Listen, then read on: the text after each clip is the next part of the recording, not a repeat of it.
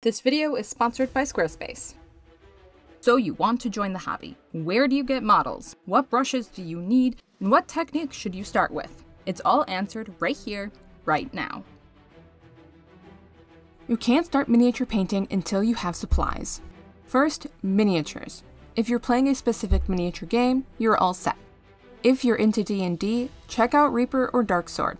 If you're looking for display quality miniatures, look at Big Child Creative or Hera Models. And if you 3D print, look at Loot, Cripta Studios, or DM Stash. Of course, there are a million more miniature producers. List some of your favorites in the comments. To prep your model, you need to remove mold lines, assemble, and fill gaps. For assembly, you'll need small snips, an X-Acto blade, a file, and sandpaper. You want to remove all mold lines, 3D print nubs, attachment points, or other imperfections. However, make sure that whatever you're removing should actually be removed and is not meant to help assemble your miniature. Once the imperfections are removed, smooth out any cut marks with a file, then sandpaper. If assembly is required, I use Gorilla Glue Super Glue, but plastic glue is amazing if that works with the material you're using. Plastic glue melts the plastic you're using and fuses the pieces together, but it only works with hard plastic, not resin or other material. For extra hold, you can also score your plastic by cutting into the material. Scoring gives the glue a better grip and thus a stronger hold. You can create an extra secure attachment point by pinning. Pinning is done by drilling a hole into both pieces of your model with a small Dremel. Then glue appropriately sized wire into the hole, then applying glue to both the model and the pin. For gaps, use Milliput or green stuff. I prefer Milliput as it can be sanded, but green stuff holds better detail. For both materials, you'll need silicone tools, preferably dipped in water. For both Milliput and green stuff, combine equal amounts of the two different colored putties. Start small, you can always make more if you need it but once the putty begins to harden, it's done for. Once the material is fully mixed, place an appropriately sized ball or snake onto the desired area and begin to smooth it with a damp finger or a damp tool. If you have problems with fingerprints, wet an old brush and smooth out the surface. Remember, Milliput can be sanded smooth, but green stuff does not. It just rips. Mini in hand, let's talk about what else you need to get started. Most importantly, you'll need a round brush, identifiable by the full belly and nice point. You'll need a large round brush in a size 1 or 2, a detail round brush in size 0 or double 0, and a flat or domed brush for dry brushing. You'll also need a few brushes that you are either okay with ruining or are already ruined. Round brushes are perfect for miniature painting because the belly of the brush holds a lot of paint, while the fine tip allows for precise application. The most important element in your brush is that it has a good point. It is possible to paint an entire model with a size 1 brush, even the eyes. However, I prefer painting my eyes with a smaller brush. When using a smaller brush, the paint begins to dry a lot faster than on a larger brush, making it more difficult to work with. So just keep it in mind, the smaller the brush, the shorter the working time. Let's take a minute to talk about Squarespace. I love my family, but they have no idea what I do on the internet. With Squarespace, I have an easy platform to share everything I do with them and the world. Squarespace's galleries are customizable, my social media feed can easily be integrated, and I can even sell my merchandise via their print on demand services. Whether you're looking to share your work with your parents or fans across the globe, Squarespace.com has everything you need to start a business or launch your online presence. To make your custom website, check out squarespace.com for a free trial. And when you're ready to launch, head to squarespace.com slash lylamev and use the code lylamev to save 10% off your first purchase of a website or domain. Alright, back to painting. For dry brushing, you'll need a domed brush, a tightly packed brush that is usually circular in shape, or a flat brush. Dry brushing is done in areas that have a lot of raised texture, and is a way to quickly apply midtones and highlights to an otherwise very detailed area. I prefer a domed brush, as flat brushes tend to leave a more obvious line denoting the path of the brush. As for brush material, I recommend that your main brush be made of sable hair, as synthetic brushes will always eventually begin to curve. If you are okay with spending less on brushes but going through them more quickly, then a synthetic brush will be fine. But if you want a brush to last hours and hours of painting, then you'll want a sable hair. My favorite sable hair is Winsor Newton. My go-to synthetic brushes are from Game Envy. When using paints like washes, contrast paints, or metallic paints, I recommend using synthetic brushes, old brushes, or cheaper brushes. These paints are harder on your bristles, and therefore you don't want to use them on a really nice brush. Beyond brushes, I also recommend a wet palette. A wet palette keeps your paint wet and working for longer. Putting your paint on a dry palette, or really anything but a wet palette, causes your paint to begin to dry as soon as it is placed in open air. I use a commercially made wet palette from Redgrass Games, but Game Envy has a great one as well. You don't need anything like this if you are just getting started. I'll list a few videos on how to make your own wet palette in the description box. Finally, it's so important to take good care of your equipment. I just did a video on this topic here. A few last minute things you'll need. Good lighting, preferably white light, something to hold your miniature, as the grease from your fingers can cause your paint to rub off, like a pill bottle or the hobby holder from Game Envy. And a blue poster tack to temporarily hold your model while you're painting. Onto actually painting! First is primer. Primer is needed for the paint to grip onto. Some minis claim to be pre-primed. Ignore that. Prime it anyway. Priming can be done with a rattle can, an airbrush, or a paintbrush. I dislike rattle cans as it can leave a texture, but it is great for batch painting armies and the like. An airbrush is ideal, but is expensive and has a learning curve. If a rattle can or airbrush isn't your speed, the Stynylrez primer can also be painted on with a paintbrush. If your primer or paint doesn't stick to the model, rinse your model under the sink with a toothbrush. You can see the importance of a primer here, where areas that I missed while brushing on my primer refuse to take on the black paint. Next is zenithal highlighting, which is a technique designed to showcase the natural highlights and shadows of a model to make painting it easier later. The technique is usually done with a rattle can or an airbrush, but can also be done by hand with a brush. I don't do rattle cans, but I'll list a video in the description box if you need it. To begin, paint your model black.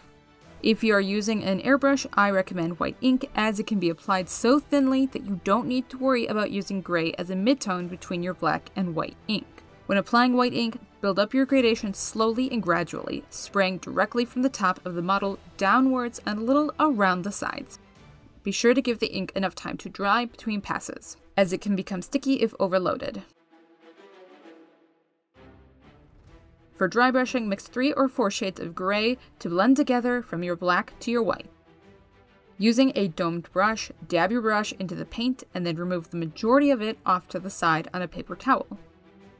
We are going to build up this gradient slowly, so don't rush it. Apply your paint by using a downward strokes and hitting the protruding edges of your model. The more something protrudes out from your model, the more you will hit, and thus leaving more color behind.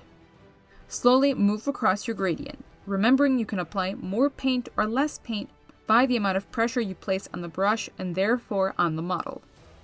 You also want to keep the majority of your brightest zenithal at the top half of your model. So not only is there a gradient to showcase the shape and form of each element, but there's also a larger gradient going down the entire height of the model. Once you have your zenithal complete, take a picture of it. Once you start applying paint, you probably won't be able to see your original zenithal layer, so we want to take a photo to reference later. Paints. For beginners, I recommend either Pro Acryl or Reaper paints. Both are great right out of the bottle and require almost no thinning. Paint thinning is something you do when your paint is very thick. Thick paint can obscure details, cause texture, and in general is more difficult to work with. Every paint brand and paint color will require a different amount of thinning. I recommend practicing thinning with a thinning agent, like this one from Vallejo. However, it is also possible to thin paint with water. The learning curve is just a little bit steeper. No matter what, the goal is for the paint to flow off your brush at the lightest of touches while still retaining opacity. If there is plow throw on either side of the brush, it's too thick. If the paint is sheer, it's too thin. I usually test the paint on the back of my hand, but I am currently looking into better methods of judging paint consistency, as paint can absorb into the skin. In general, vibrant paints like orange and red are less opaque than other colors. To add opacity to any paint, just add white. You can then paint back over that color later with your pure color.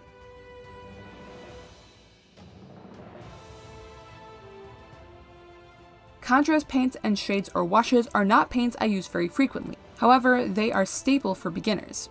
Contrast paints are a combination of a paint and a shade.